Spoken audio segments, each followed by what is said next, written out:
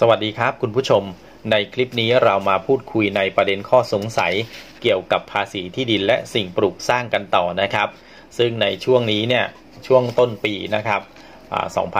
2567 ก็เข้าสู่ช่วงของการจัดเก็บภาษีที่ดินและสิ่งปลูกสร้างประจำปี 2567 กันนะครับ ซึ่งในประเด็นข้อสงสัยที่เราจะมาพูดคุยในคลิปนี้มี 4 ประเด็นด้วยกันนะครับ 4 ประเด็นคำถาม ประเด็นแรกก็คือ ที่ดินที่ดินที่เอกชนเนี่ยได้มอบให้รัฐได้ใช้เพื่อประโยชน์สาธารณะ จะต้องเสียภาษีที่ดินและสิ่งปลูกสร้างหรือไม่นะครับ และประเด็นที่ 2 ก็คือทรัพย์สินที่เป็นสุสานนะครับที่เป็นสุสานเนี่ยที่ใช้เพื่อสาธารณะ จะต้องเสียภาษีที่ดินหรือไม่ ประเด็นที่ 3 ก็คือการแจ้งการประเมินภาษี ถ้าปรากฏว่าท้องถิ่นเนี่ยมีการแจ้งการประเมินภาษีไปแล้ว ไม่พบตัวผู้เสียภาษีจะต้องทำอย่างไรนะครับ แล้วก็ประเด็นที่ 4 ก็คือพนักงานสำรวจเกี่ยวกับที่ดินและสิ่งปลูกสร้าง สามารถจะเข้าไปในที่ดินและสิ่งปลูกสร้างได้ในช่วงเวลาใดนะครับ นี่คือประเด็นข้อสงสัยที่เราจะมาพูดคุยกันในคลิปนี้นะครับ ซึ่งผมจัดทำคลิปนี้ตรงกับวันเสาร์ที่ 3 กุมภาพันธ์ ปีพุทธศักราช 2567 เรามาดูในระเบียบกฎหมายที่เกี่ยวข้องกันนะครับ ในพระราชบัญญัติภาษีที่ดินและสิ่งปลูกสร้างพุทธศักราช 2562 ซึ่งเป็นกฎหมายที่ก็ใช้ในการจัดเก็บภาษีที่ดินและสิ่งปลูกสร้างในฉบับปัจจุบัน ซึ่งประเด็นแรกก็คือที่ดินที่เอกชนเนี่ย ได้มอบให้รัฐได้ใช้เพื่อประโยชน์สาธารณะ อยู่ในข่ายที่จะต้องเสียภาษีที่ดินและสิ่งปลูกสร้างหรือไม่ ในเรื่องของที่ดินตรงนี้นะครับ ได้รับการยกเว้นนะครับ ซึ่งในมาตราที่ 8 เนี่ยเขาได้กำหนดเอาไว้ว่าให้ที่ดินหรือว่าสิ่งปลูกสร้างที่เป็นทรัพย์สินดังต่อไปนี้ ได้รับการยกเว้นจากการจัดเก็บภาษีตามพระราชบัญญัตินี้ ซึ่งที่ดินตรงนี้นะครับที่เป็นทรัพย์สินของเอกชน ในวงเล็บ8เนี่ยทรัพย์สินของเอกชน เฉพาะส่วนที่ยินยอมให้ทางราชการจัดให้ใช้เพื่อประโยชน์สาธารณะ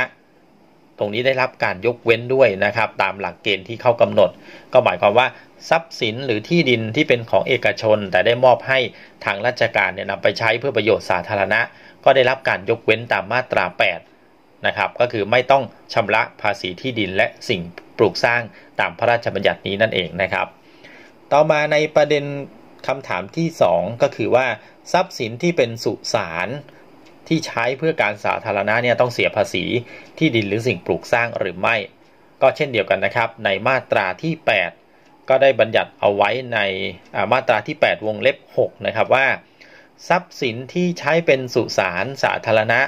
หรือชาปนสถานสาธารณะ โดยไม่ได้รับประโยชน์ตอบแทนนะครับ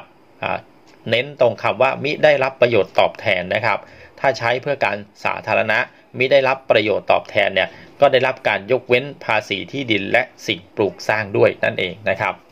ทีนี้ประเด็นต่อมาประเด็นคำถามต่อมานะครับ ก็คือว่า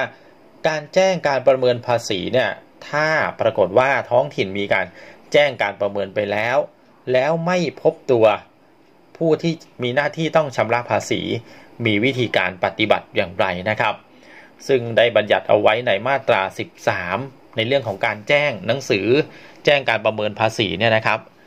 ในมาตรา 13เนี่ยการส่งคำสั่งเป็นหนังสือ หนังสือแจ้งการประเมิน หรือหนังสืออื่น ให้เจ้าหน้าที่ส่งให้แก่ผู้เสียภาษีโดยตรง แต่ถ้าเกิดว่าไม่พบผู้เสียภาษีณภูมิลำเนา หรือถิ่นที่อยู่ หรือสถานที่ทำการของผู้เสียภาษีจะส่งให้แก่บุคคลใดซึ่งเป็นผู้ที่บรรลุนิติภาวะแล้ว และอยู่ณภูมิลำเนา หรือถิ่นที่อยู่ หรือสถานที่ทำการที่ปรากฏว่าเป็นของผู้เสียภาษีนั้นก็ได้นะครับ เพราะฉะนั้นก็ไม่จำเป็นนะครับ ถ้าไม่พบตัวผู้ที่มีหน้าที่เสียภาษีนะ่ะ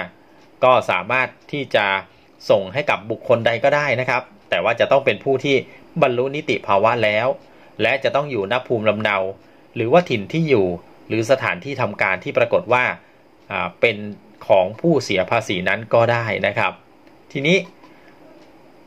ต่อมานะครับ เมื่อได้ดำเนินการแล้วเนี่ยนะครับ เมื่อได้ดำเนินการแล้ว ก็ถือว่าผู้เสียภาษี ผู้มีหน้าที่เสียภาษีเนี่ยได้รับหนังสือแล้วนั่นเองนะครับ ต่อมาประเด็นข้อสงสัยที่ 4 ก็คือว่าพนักงานสำรวจ เกี่ยวกับที่ดินและสิ่งปลูกสร้างเนี่ยสามารถที่จะเข้าไปในที่ดิน และสิ่งปลูกสร้างได้ในช่วงใด ตรงนี้นะครับเขาบัญญัติเอาไว้ในมาตรา 29 ก็คือ ในการสำรวจที่ดินและสิ่งปลูกสร้าง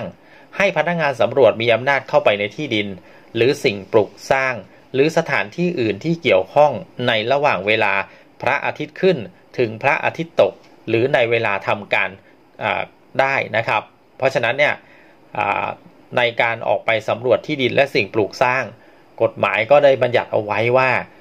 พนักงานสำรวจสามารถเข้าไปได้นะครับ ในระหว่างพระอาทิตย์ขึ้นถึงพระอาทิตย์ตก หรือในเวลาทำการนะครับ รวมทั้งมีอำนาจที่จะเรียกเอกสารหลักฐานอื่นใดที่เกี่ยวข้อง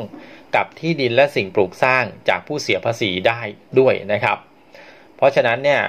ในเรื่องของภาษีที่ดินและสิ่งปลูกสร้างในปี 2567 นี้นะครับคุณผู้ชม ที่ดินที่เขาจัดเก็บภาษีก็ยังเป็นที่ดินใน 4 ประเภทก็คือที่ดินเกษตรกรรมบ้านที่อยู่อาศัย ที่ดินที่เราใช้ประโยชน์อย่างอื่น เช่นโรงเรือน ร้านค้า โรงแรม โรงงานอุตสาหกรรม และก็ที่ดินที่ทิ้งเอาไว้ไม่ได้ใช้ประโยชน์ตามควรแก่สภาพนะครับ แต่ว่าในส่วนของที่ดินที่เป็นบ้านของบุคคลธรรมดาเนี่ยก็มีการลดลดหย่อนภาษี มีการยกเว้นมูลค่าฐานภาษี แล้วก็ในส่วนของเกษตรก็เช่นเดียวกันนะครับ เพราะฉะนั้นในรายละเอียดตรงนี้ว่ายกเว้นหรือว่ายกเว้นฐานภาษีเท่าไหร่อย่างไรเนี่ยเราเคยพูดคุยกันไปแล้วในคลิปก่อนๆหน้านี้นะครับซึ่งตรงนี้คุณผู้ชมมีประเด็นข้อสงสัยในเรื่องใดเกี่ยวกับภาษีที่ดินและปลูกสิ่งปลูกสร้างนะครับ ก็ฝากคำถามกันเอาไว้ใต้คลิปได้นะครับ เดี๋ยวเรารวบรวมมาพูดคุยกันต่อในคลิปต่อๆไปนะครับ